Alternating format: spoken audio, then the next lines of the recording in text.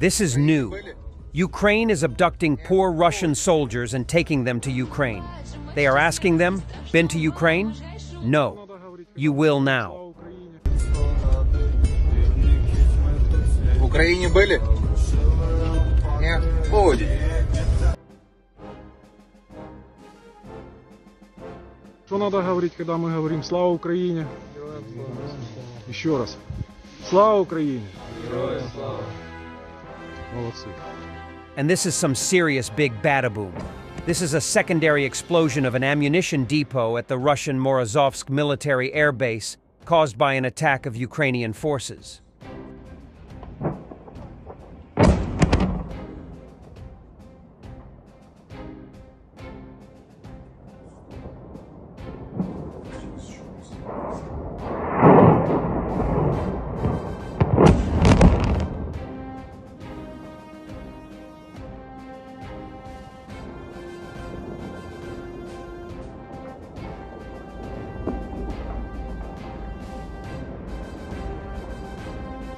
Russian source on the Kursk situation.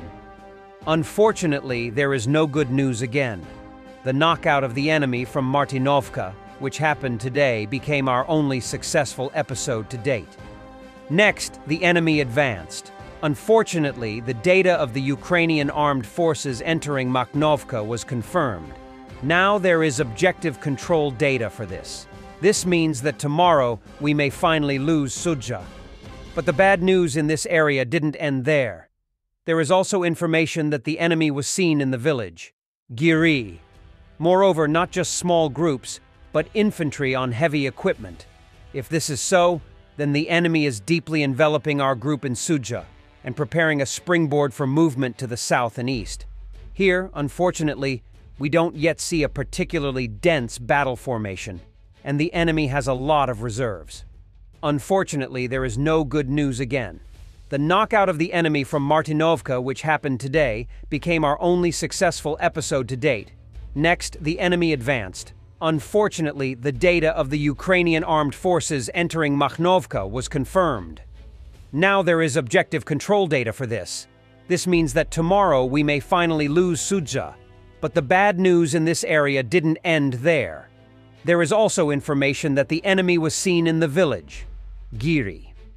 Moreover, not just small groups, but infantry on heavy equipment. If this is so, then the enemy is deeply enveloping our group in Sudzha and preparing a springboard for movement to the south and east. Here, unfortunately, we don't yet see a particularly dense battle formation, and the enemy has a lot of reserves.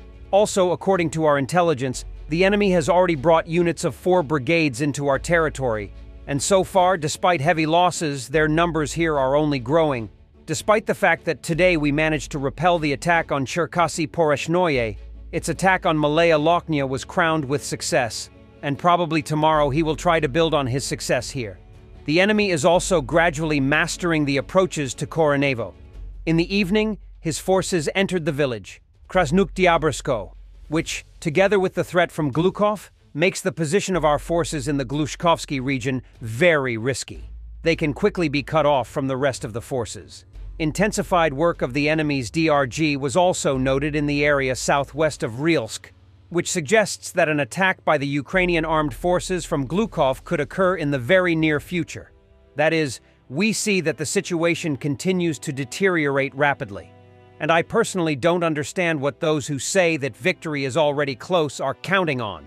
As far as I understand the situation, we will mostly be on the defensive for the next few days. May God grant it to be successful. Let's keep our fingers crossed for the guys and pray for them. The military airfield of the Russian Federation in the Lipetsk region after one of the latest and most accurate attacks by the Ukrainian armed forces. Satellite images show the destruction at the Russian airbase.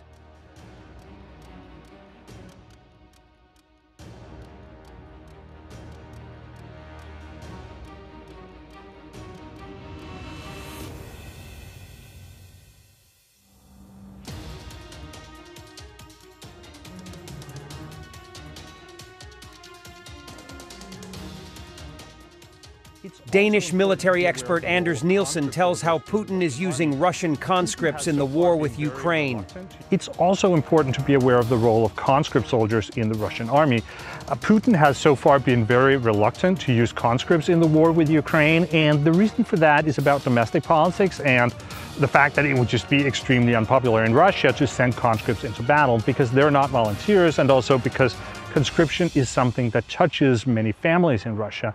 There are many young men that are going through conscription right now or that will be going through conscription in the coming years and they have mothers and fathers and cousins and siblings. So if you start using conscripts in the war then all these people are going to be afraid on a personal level about the safety of themselves or or their loved ones. And they might uh, start getting dissatisfied with the government that is waging this war. So uh, for reasons of regime security, uh, the Russian army has essentially been divided into two different kinds of armies. So there's there's one army that is fighting uh, in Ukraine, and it consists of people that have more or less volunteer to be there. And then there is another army, which is the conscript army. And here the conscripts are going uh, through the same kind of training that they've always done, and it's not being used in Ukraine.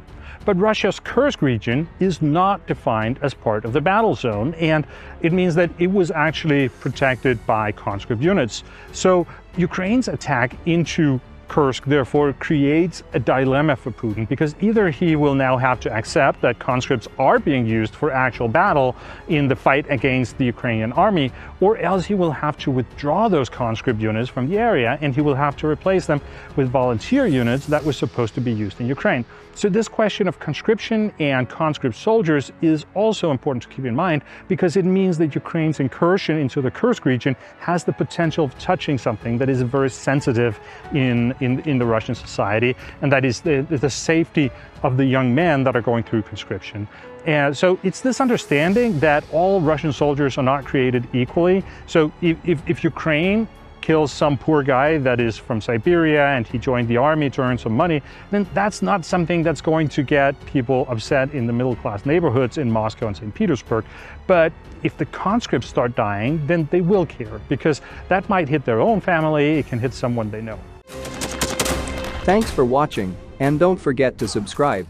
Also, if you want to support Warthog Defense, please become our member and get early access to new videos, exclusive members-only videos, and become administrator in comment section. The membership link is in the description. Every day. We had a guy last week at six rescues in six days. You know, he's doing the job every day.